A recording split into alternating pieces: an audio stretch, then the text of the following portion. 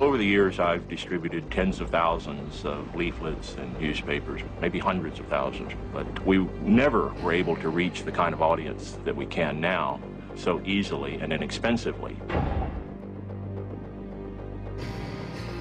months for each of his victims. Breivik smirked when he heard the verdict. We wear turbans and we have long beards, and Afghanis look like us, and we look Man like opens Afghanis. fire on police officers in Pittsburgh during a domestic disturbance